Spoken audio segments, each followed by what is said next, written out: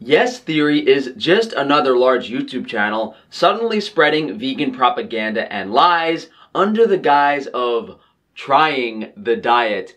Uh, guys, just excuse me while I try the vegan diet and I already sound like an estrogenic soy bitch. January, a time where we take our first steps towards our New Year's resolutions and try to become the best versions of ourselves. Am I right? And even though some goals revolve around climbing mountains or finally making this the year where you learn how to dance, most people's resolutions focus on one main thing health. And in recent years, one health trend stands out above most. Vegan. Vegan. Vegan. Vegan. Vegan diet has more than doubled in the last year. Veganism is defined as a diet that excludes all animal derived products like meat, eggs, and dairy products. It even includes honey. And in the past decade, the trend has skyrocketed. In the US, consumers identifying as vegan grew from 1% all the way up to 6%, and that number has continued to increase as more and more documentaries such as Game Changers and Cowspiracy have come out in support of the diet due to not only health benefits, but also environmental and animal cruelty prevention. Documentaries, aka not letting people think for themselves. Those are the three points I'm always referring to and disputing. Health, environment, and morals. Vegans think they are right on all three. All they're doing is spreading lies in their messages. And so, to fully put this diet to the test and see if it actually has the health benefits everybody claims, Matt decided to go on a vegan diet for a full 30 days to answer a few questions. How difficult will it be to change? How will his energy be affected? And will he decide to continue this vegan diet after the 30 day trial? We're gonna see where your deficiencies currently are on your past diet, implement the vegan diet, and see how much of an improvement we can get. Amazing. You ready? Yeah, I'm okay. ready. Your red blood cells being a little bit low at 4.29. One of the big things we want to see here is where do you get great sources of heme and iron from? Kind of the big one that um, people are concerned about when they're switching to a vegan diet is their vitamin B12. Mm-hmm. And prior to switching, your, your levels still aren't optimal. Rich green spirulina, great sources of B12. Spirulina is a great source of B12. If I write B12 on a piece of paper and eat that piece of paper, is it a great source of B12? The form of vitamin B12 in spirulina is not available to humans just as the B12 in that piece of paper isn't. We don't have digestive systems of herbivorous animals. These vegan monkeys focus on heme iron and B12 with no thought of precursor nutrients. Metabolites needed to absorb them in various enzymatic reactions. They have a preschool understanding of nutrition, isolating two things, cherry picking, and not looking at the whole picture, not allowing you to think for yourself. But really, truly, we can improve all of these numbers with the vegan diet.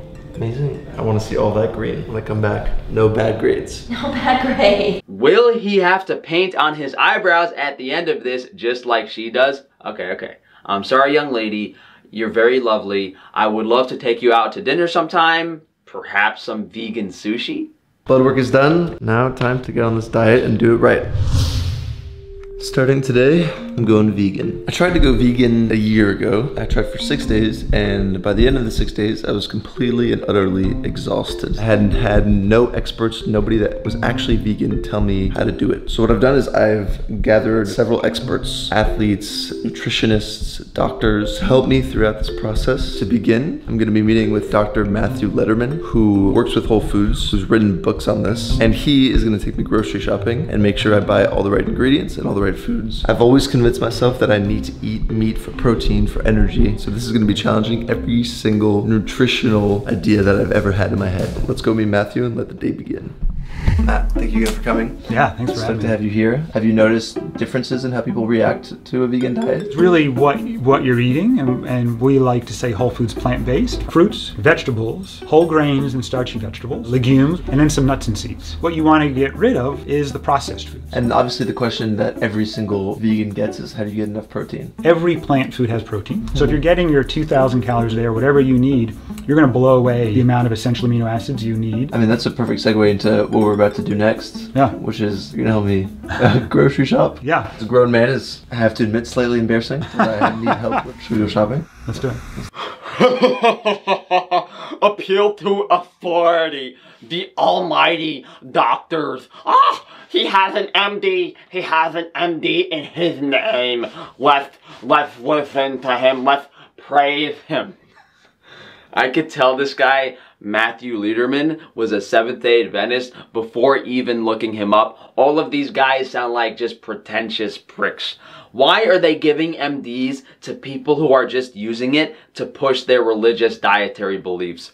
They are creating this false question. Where do you get enough protein? Uh, where do you get enough protein? Because they have an answer for it. That is not the question that's actually being asked. The one being asked is about the bioavailability of plant versus animal nutrition and why vegans refuse to address actual science behind it. Oh wait, it's because they don't want you to think for yourself.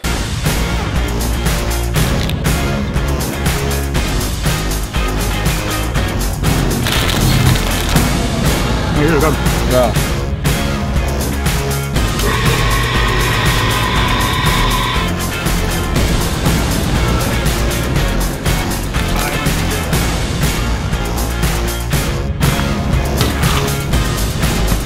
Beautiful. Show me.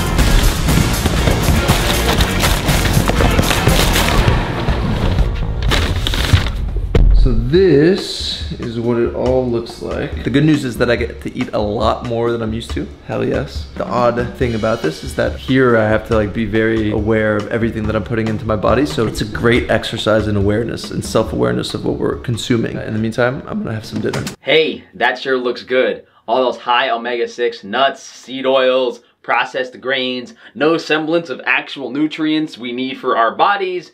Great exercise in self-awareness of what we're consuming. You mean making sure we down the soy slop our overlords are shoving down our throats? The repackaging of grains and seed oils that made us sick for dozens of years into a vegan diet?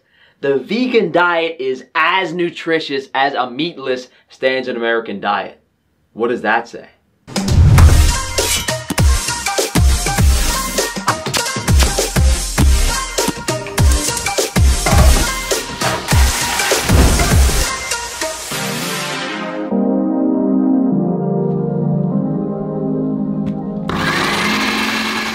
This is Matt's breakfast, ladies and gentlemen. We've got two nice little nutritional bars, some seaweed, dried mangoes, lots of almonds, apple, banana. I'm like literally trying to load up as much as I can. Like I'm eating more than I think is normal. In about three hours, we're gonna meet with a vegan bodybuilder and he hopefully is gonna make me feel good about myself and say that I'm doing things right. I'm trying to gain muscle, you know, which is why I want to talk to this bodybuilder because I'm trying to be a bodybuilder. Don't tell the guys. Anyways. Mine too. What up, bro? How you doing, Matt? Nice to meet you. Nimai, nice, nice to meet you, man. Nimai has been vegan his entire life. Well, vegetarian, Vegetarian, initially, yeah. and then vegan ever Yeah. since. Five years. What's been the key to fitness? Copious amounts of steroids, performance enhancing drugs. Inject your tushy with every synthetic hormone you can get your hands on as long as it's vegan. Then lie to everyone about it to promote your business, your agenda, your products, just like every other fake natty in the fitness industry. It's always dependent on the person, right? Whatever their goals are. I wanted to compete. I figured if I could do it as a vegan and show that you can not only like live and thrive on a vegan diet, but you could be like a, a top level bodybuilder, so then maybe it would kind of like change that notion. But it's still every single day I get it. Like, where do you get your protein? I'm like, dude, do I look like I'm struggling to get protein here? Like, it's like a freaking calling card for veganism. Like, do you get enough protein? I'm just like, yeah. hell that I feel like a freaking twig next to you. that. It's just a different shape. It's a different, like, smaller shape. Get him up. The little brother.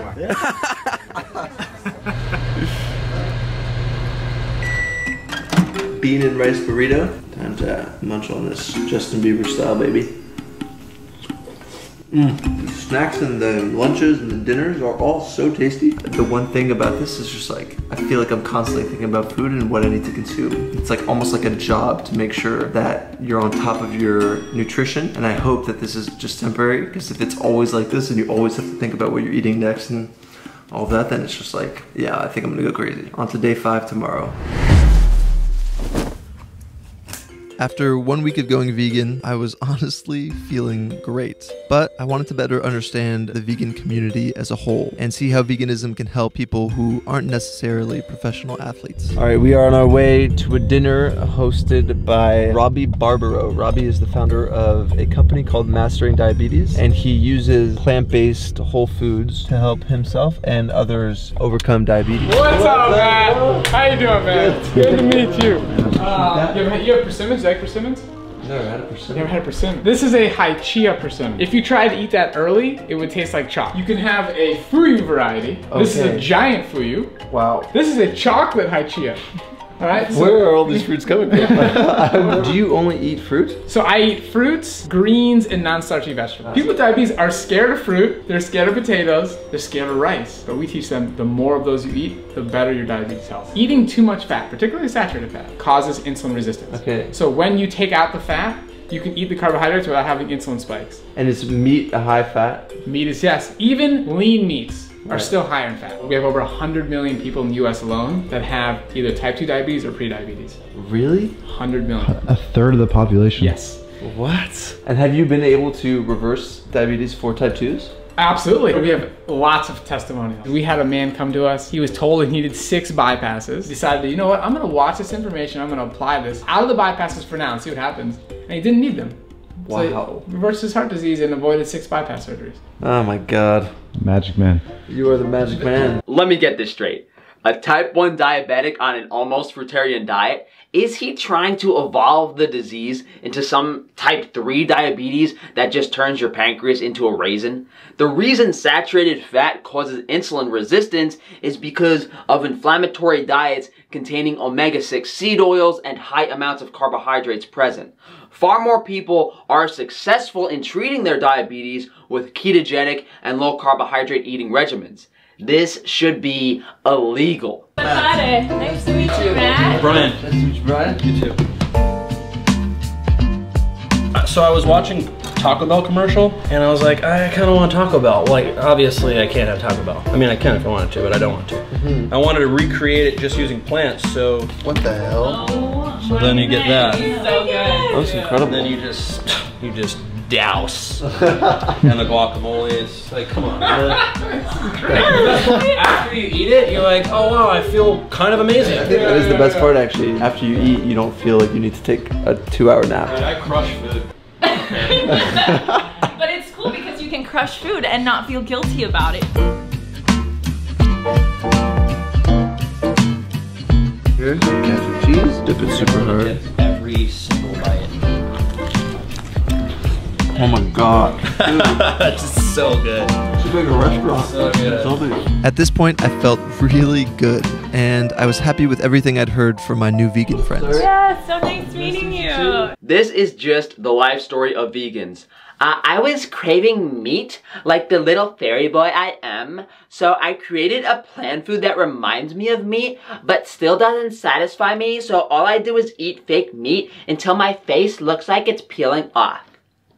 And then I can't get boys anymore. I wonder why.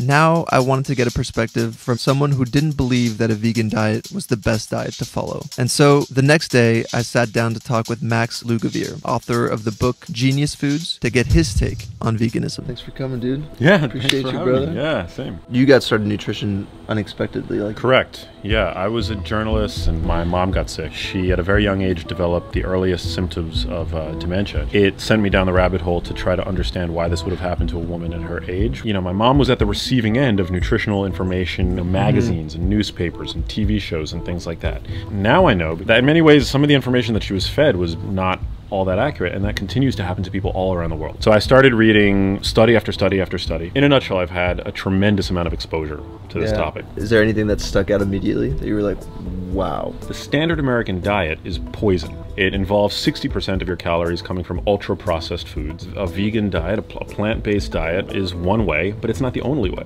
Incorporating properly raised animal products can be perfectly healthy. We have nutrients that are called micronutrients, and I think when you look at the micronutrients that are offered in animal foods, I think they're invaluable to the body because they're already sort of in a plug and play format, ready to be utilized by the body. Max. Dude, how do you, the thing is, how do you even choose? Just like there's a new book Yeah. There's a new documentary. There's a new thing coming out every two seconds. But it, it does seem like the consensus is plants are good. Yeah, that's the consensus. But the fact that it's anything to an extreme may not be the right answer for most people. There's no such thing as a one size fits all diet. What works for you might not work for me. So at the end of the day, I would encourage your viewers to do research for themselves, look to get their information from unbiased and credible sources, and to be willing to iterate and tinker. Thank you for saving me. Yeah. My pleasure, man. That's the answer. That's Yeah. the answer. How do you feel?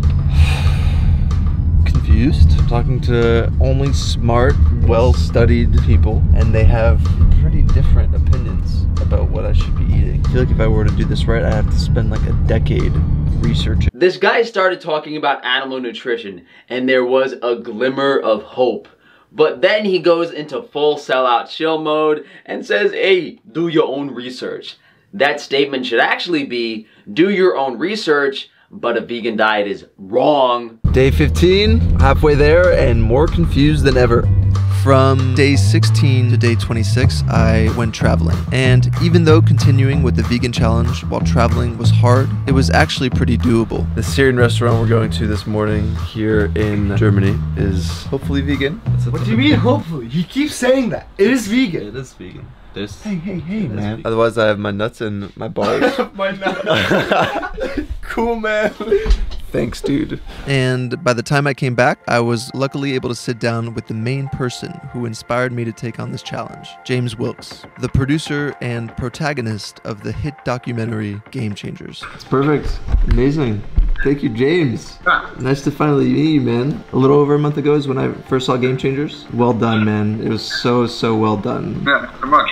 Everybody's talking about it, you know. Yeah, it's crazy. On some days, we'll have 500,000 people just going to the recipe page on our website. Wow. My whole attempt in making this video is to kind of get all perspective. And I see you as like the, I mean, the front runner in this movement, in the vegan movement. I personally believe a fully plant-based diet is optimal for health and athletic performance. Mm-hmm. Any direction that you take towards more plant-based eating is going to be beneficial, replacing both animal foods and also, you know, processed junk foods. Gotcha. And do you find that a lot of people that go vegan just aren't educated on how to do it? Any diet should be well planned. People should look into it and look about what they're putting in their body. You can't just take your current diet, take meat off the plate, and think you're good to go. But if you look at like nutrition deficiencies, on average, vegans are deficient in four nutrients. Meat eaters are deficient in nine. If you look at the World Health Organization or the FAO, they're all saying now to eat uh, a diet that's predominantly plant. Amazing. yeah, I mean, That, that totally makes sense. To me, the core is promoting plant-based eating, giving people the resources so that they don't fall off the bandwagon. Because a lot of times people don't know what to eat or where to eat or how to cook. Well, James, I don't want to take much more of your time, but I, I really appreciate it. Thanks, man. Talk to you soon. Cheers. Good luck with Right everything. Great guy. And everything you said makes sense. Yeah. Everybody I've talked to is so nice and it literally makes so much sense every time. Meat eaters versus vegans. I don't think meat eater is the best way to put it if the average American already consumes over 70% of their calories from processed plant garbage. Why are you calling them meat eaters just because they have a steak once a year? And what exactly made the Game Changers a hit documentary? The unbelievable amount of propaganda behind it? Why are we even talking about this? It's so obvious. How are any of these vegans not acknowledging how, like, in your face government media push this is? It should be just dismissed based off of how obvious that is. Same with the carnivore shills. Oh, can't have all the beef going bad on grocery store shelves. My daughter needs her Mercedes for her sweet 16. James Wilks being the propped up puppet who is too big to fail. Last day, boy. I'm excited that I've completed my challenge. Guess we'll uh, we'll be able to tell at the blood work whether I've changed, but at least I don't feel worse. That's the main thing. One, two. All right. Awesome. Thank you so You're all much. set. You're welcome. All right, time to get the blood results. How are you? I'm good. Good to see you. Good to see you. Are we looking positive? Positive? Your vitamin B12 actually improved, but that's from supplementing. So to say like a true vegan diet, your vitamin B12 is gonna go up, we can't we can't confidently say that. We actually saw a pretty sharp increase of your total testosterone. You know, whether or not the vegan diet is right for you, I'd say this is a huge positive benefit. Your TSH or your thyroid actually improved. Bam! More thyroid. What's What is what does thyroid do? So the thyroid is part of the liver. Wrong. No. it has almost some effect on every body system. So energy, sleep. Your T4 looks superior as well. My God, that's amazing. Great. You've actually decreased the amount of good cholesterol that you have. Um, if you were eating a lot of fish like salmon and tuna Mhm. prior to switching I your diet, yeah. It's you where it came from. You want to remain on the vegan diet, you really have to ramp up your source of good healthy fats to Mhm. kind of counterbalance what's been removed. Gotcha. Your protein levels look actually even better. Wow. Yeah. Can be surprising. That's amazing. Then we want to look at your total iron, actually improved with a vegan diet. That's actually crazy. You're you're a phenomenon at this point. it's that especially was the number one thing I was worried about. was yeah, iron. your iron looks even better. Wow. Yeah. You know, of everything, plant based is best for you, or a vegan diet is best for you. wow. Thank you so much. You're so welcome. Appreciate you. Yeah, of course. All right. I did not expect the results to be that good. It's actually quite shocking. I kind of feel like I don't have a choice but to go majority plant-based now. The results were better after they were before and I was already eating so healthy. I think I'll still have some animal product once in a while, but mostly plant-based. Because it is very restrictive, so it is nice to be able to pick for yourself what you want. And yeah, I guess we'll see you next week.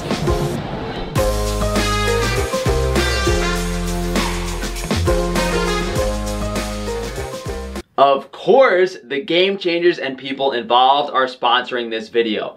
I thought the documentary was such a hit. Why are you paying all these high profile YouTubers to push your agenda even more? Most blood work is not indicative of tissue levels, especially vitamin B12.